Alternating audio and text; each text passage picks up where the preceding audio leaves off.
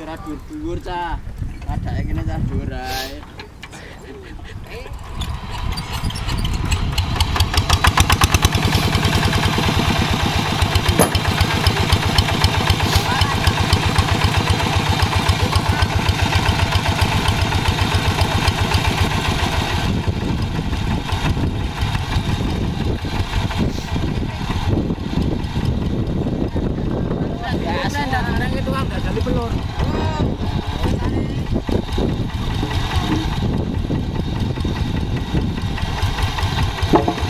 Ada pek mana ni?